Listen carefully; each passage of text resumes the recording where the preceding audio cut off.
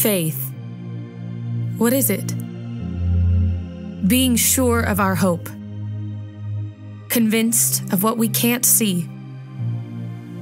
By faith, we understand the world was set in order at God's command.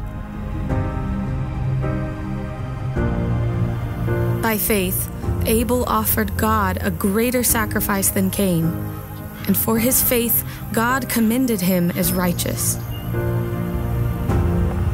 By faith, Noah trusted God and constructed an ark for the deliverance of his family.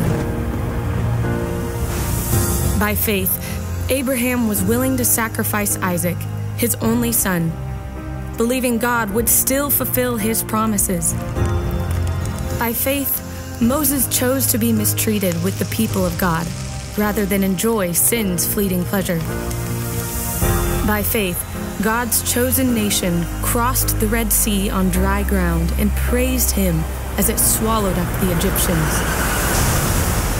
By faith, Rahab the prostitute escaped destruction because she welcomed the spies in peace. Time will fail me if I tell of Gideon, David, and the prophets. By faith, they administered justice, shut the mouths of lions, quenched raging fire.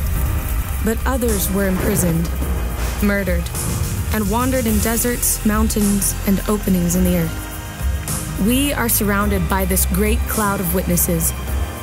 So get rid of every weight, of every sin, and run, run with endurance the race set before us.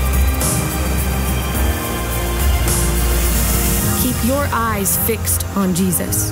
He is the champion and guide of our faith.